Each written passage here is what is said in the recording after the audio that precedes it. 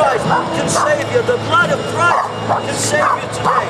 And give you a new life. God bless you, sir. And give you a new life. And give you a new future, a new purpose, a new plan by being saved by grace today. All in the cross. All in the cross of Christ.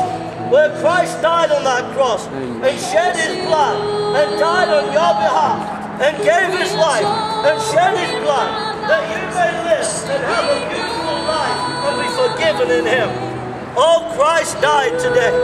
He died on that cross to set you free today. The love of God shed his blood. The love of God gave his life. The love of God died for you on that cross. He shed his blood on that cross with his love. His love was on that cross for you today. His love for you on that cross. He gave his life for you on that cross. For God so loved the world that he gave his only begotten Son, Amen. that whoever believes on him shall not perish, but have eternal life.